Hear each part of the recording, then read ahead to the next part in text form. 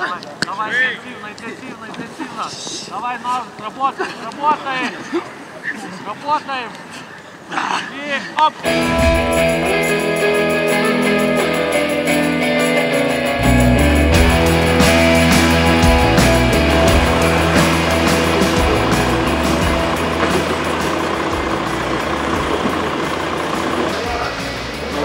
Сейчас, да, я снял прикольную. tāds, kas uzsidara to пенсингового компонента uz шаур. Изначально, изначально там собираемся, говорим, потом 10-15 минут э, возили, потом Viņš aizmirsa kaut ko, viņš tagad ir stresēts. Baila, ātri, pakaļ. Labi, skrien, skrien līdz viesnīcai. Pirmā spēle bija tā kā šī turnīra tādiem favorītiem Ukraiņiem. Super, super, super, super.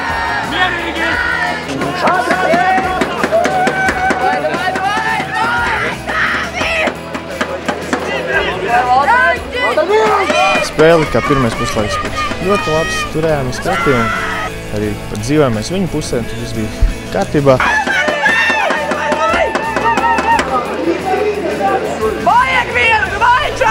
Līdz jā, viena zeltainā kartiņa, tad bija šī dabūjām iekšā. Otrajā puslaikā nedaudz pajuka tur varbūt tas fiziskā rēķina, kad nedaudz bija nu, jau Ukraiņiem pārsvars. Un plus bišķi kaut kas spēlē pajuka un dabījām tos divus ātras piezīmējumus un pašā neko nevarējām izdarīt. Un tad beigās tas rezultāts tāds nepatīkams. Un, nu, rezultāts beigās bija liels, mums nelabvēlīgs. Nu, slikti, ka zaudējām un arī, ka paši nekādas punktus neguvām. Nu, es uzskatu, ka fiziski mēs bijām gatavi, bet mēs morāli nebijām noskaņojušies spēlē. Un salūzām pie pirmā ienesiena. Arī ar to iz- izšķīrās visa spēle. Nu, pats sākums, pats sākums izteica visu. Zaudējām bumbu, ieguvām piezemējumu arī ar to jūtu, ka Džeks salūza un to arī beidzot. Uzskatu, ka mēs individuāli bijām gatavāki, mēs tikai kopā kā komanda nenospēlējām labāk. Tas arī viss.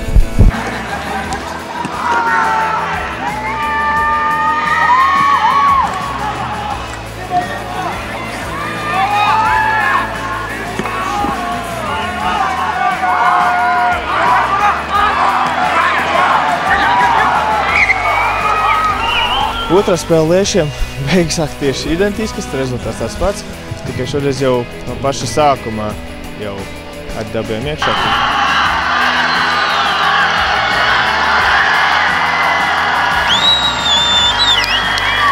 Šā tur lieši izmantojot vien savus fiziskos parametru pārsvarus un arī sa- sanes iekšā ātrs, viegls piezemējums un aizsardzībā bija ļoti labi un arī neko nedarījām. Tā kā pirmās divas spēles bija stipri bezcerīgas un ne tādas, varbūt, kā mēs gaidījām. Protams, netika varbūt cerēts uz uzvaru tajā spēlēs, bet nu, nospēlēt līdzīgāk un lai rezultāts nav tāds, kāds viņš bija. Pārliecības nebija sākumā. Sākām pasīvi, jau varēja jūs sākumā, ka īsti nav pārliecības. Brīžiem likās, ka nospēlējām tik tādas epizodes, kur simtprocentīgi vajadzēja gūt piezīmējumu, izsver bumbu un tā. Pēc tam jau tas ir grūti psiholoģiski piecelties.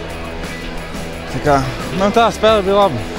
Tāda, tāda ziņā cīņas pār, nevar ko pārmešķēt. Neiet kaut kā šodien.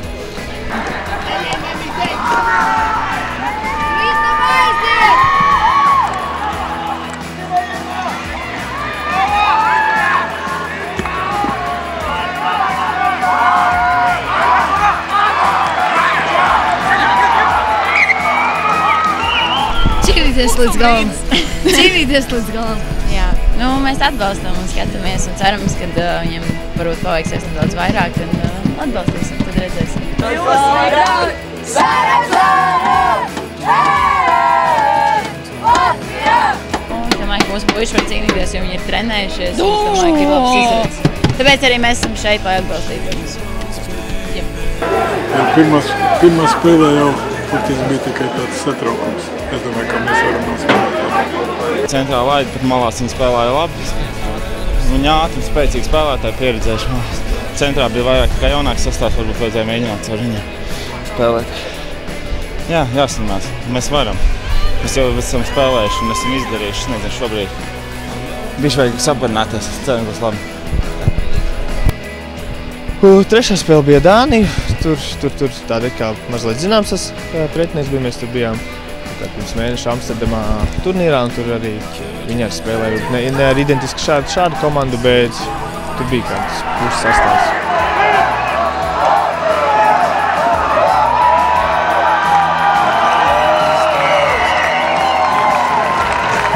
Labi, labi nospēlējām. Tas vēl viņš vēl mēnesi rastīti atpakaļ. Lielajā regbijā Dānijas izlasi vienējām, tā ka tur atkal jau domāju, ka mums bija mazliet jau tāds viņš pretinieks zināms un arī jau psiholoģiskais pats, jo zinām, ka viņi ņemami.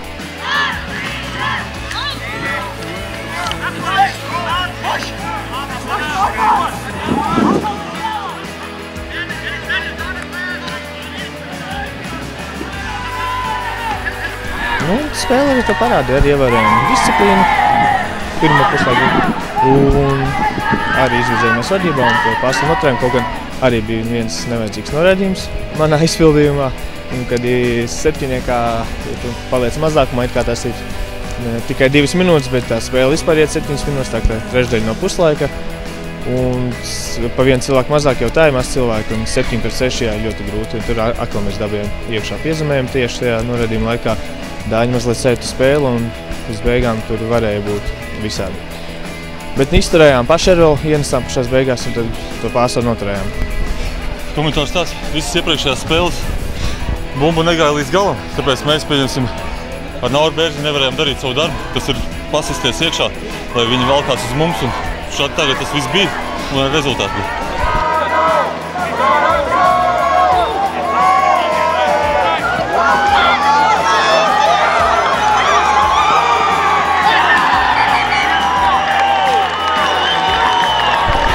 Viņš ir pieredzējis arī pie šī līmeņa, kas ir A divīzijā, tas nav B vairs. Viņš ir iespējams to, ko mēs treniņos strādājam. un Tas arī beigās atnes to rezultātu.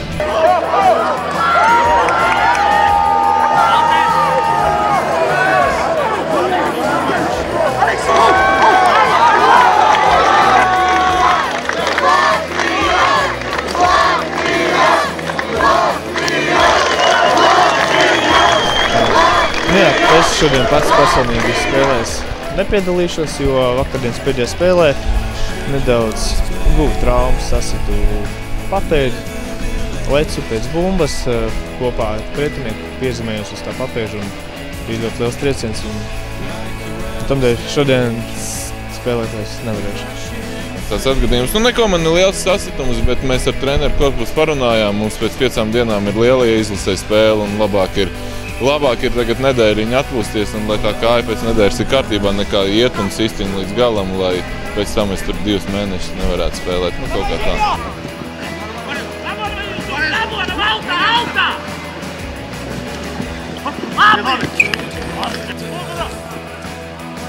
Viņš savācamies, mums jākapājas. Mēs spēlējam pa vietu, mums nākamajā tā vieta dos reitingu.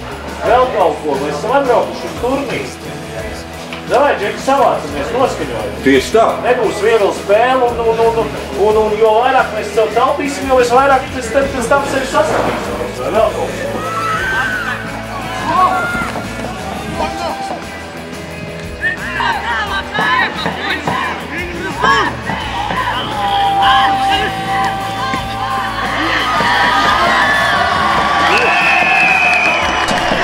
Principā komandas visas bija līdzīgas. Ar kā visām komandām spēlējām līdzīgi. Vienai tikai tā komanda, kur nedaudz mazāk kļūdījās. Jā, šeit, šajā divīzijā ir visas tās komandas ir spēcīgas. Un ko kļūdas nepiedod, jo mēs daudz kļūdījāmies īstenībā šajās spēlēs. un Tas arī mums sa- sakāva. tā kā. Pēdējā spēlē redzējām, ka viņam arī tas fiziskais pietrūka. Te katra spēle bija tā kā, nu, ar 100% jādod un viss savu spēku. Un nevienā spēlē nevarēja sevi žēlot. Tā. Nu, Eiropas čempionāts tomēr liels pasākums priekš izlases. Nu, centāmies labi nospēlēt. Šoreiz atbildīgajās spēlēs, nezinu, varbūt pietrūka nedaudz veiksmes. Tagad treneris teica, arī gaidīsim video, analizēsim pēc kaut kādām divām nedēļām. Atkal viss nāksim kopā, skatīsimies video un tur skatīsimies, ko vajag fizisku, fiziku, visu taktiku. Visu mācīsimies tālāk. Jāņem vērā arī tas, ka mums tika izsisti divi pamats sastāvu spēlētāji ātrie. Lūk, ir viens. Reku viens. Kā tev komentāri? Nu, Malpils spēks mūs tur, nu, A divīzijā. Ticiet man, dzīvē nav iedots simts variantu, simts iespējas. Tādas iespējas nebūs nemaz tik daudz. Ja jūs ceriet, ka tas notiks, nu nekas. Ne šodien, rīt es nospēlēšu labi. Tā nebūs.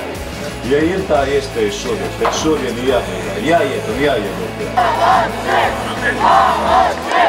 Džeki, pirmām kārtām mēs parādījām, ka mums ir raksturs.